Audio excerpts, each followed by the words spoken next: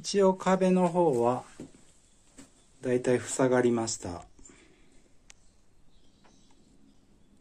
上の方はまだちょっと薪ストーブの煙突を抜く場所が多分ここになるのでここは開けています。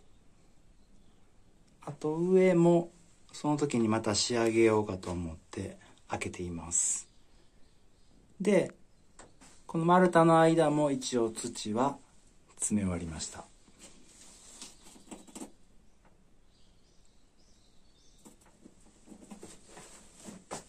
外側の方も土は詰め終わりました。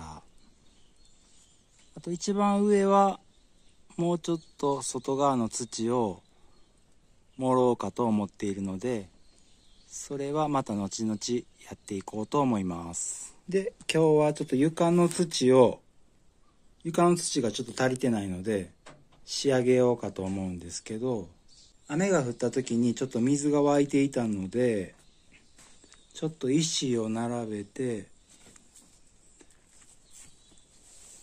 でこっから水が出てくるように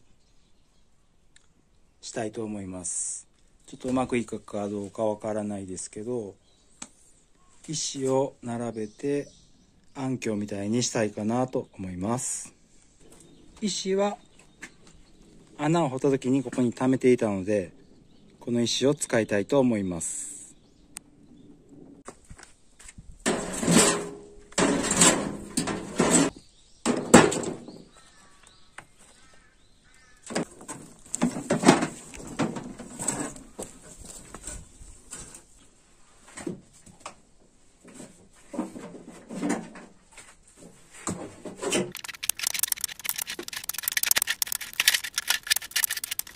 一応並べ終わりましたっていうか、まあ、ちっこい石がもうなくなりました。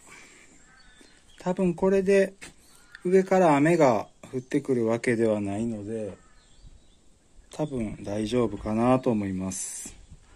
あと、床に今から入れ入れる土も、結構水はけの良さそうな土なんで、多分大丈夫だと思います。一応床の土は、こっちのここの土を使おうかと思います。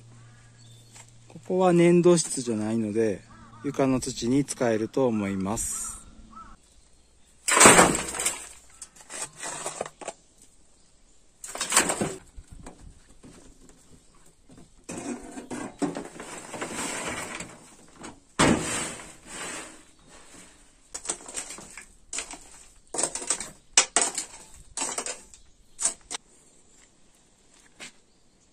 土入れ終わりました。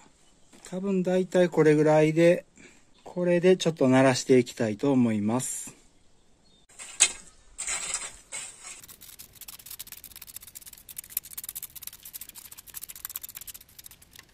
一応鳴らせました。まあ、鳴らしたっていうかまあ、浮き上がってきた大きい石を取りました。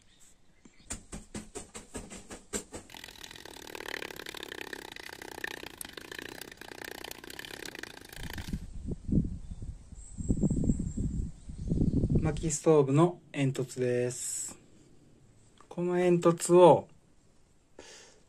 こっから出して、あと周りをまた土で塞いで、あと残りの隙間も埋めていきたいと思います。